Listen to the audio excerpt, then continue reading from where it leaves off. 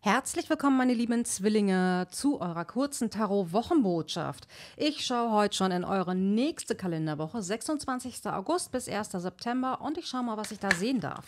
Oh, Gerechtigkeit. Mhm. Mhm. Okay, weg aus den Illusionen, weg von dem Herzschmerz, vertraue in den Prozess, aber bitte pack deine.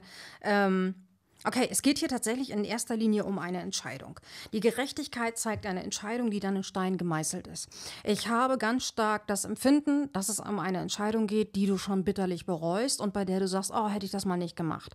Aber ja, Entscheidungen, gerade wenn es um Trennung geht, wenn es darum geht, sich von Menschen fernzuhalten, die einem nicht mehr gut tun.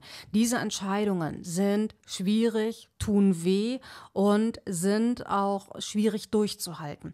Das Interessante ist, diese Kartenlegung sagt hier ganz deutlich, ja, der Weg ist im Moment hart, es ist schwierig, dir blutet das Herz, ähm, du stellst quasi alles in Frage, was man in Frage stellen kann, aber vertrau hier dem Prozess. Na? Wenn du eine schwierige Entscheidung getroffen hast in letzter Zeit, dann hör auf, darüber nachzudenken. Es war wichtig. Du hast dir darüber Gedanken gemacht, du bist wirklich auch tief in dich gegangen. Das ist keine Entscheidung, die dir mal eben lockerflockig von der Hand ging, sondern vertrau dem Prozess. Es wird sich irgendwie auszahlen.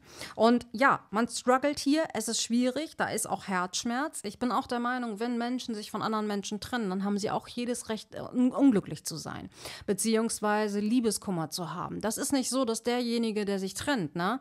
Ähm, oder derjenige, der verlässt aktiv, dass demjenigen das danach super, super gut geht, sondern hier, nimm das ruhig wahr, wie es dir geht und dass du vielleicht auch Herzschmerz hast. Und hier sehen wir, es wird langsam, aber mehlig ruhiger. Ne? Sechs der Schwerter auf zu neuen Ufern, beziehungsweise auf in ruhigere Gewässer. Hier ist das Wasser noch sehr aufgeraut und da geht es langsam in was Ruhigeres rein. Und das dauert.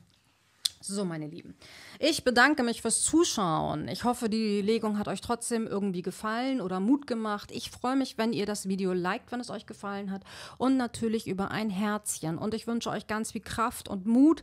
Und wie gesagt, hört auf, immer eure Entscheidung zu hinterfragen. Die wirkt gut und klar.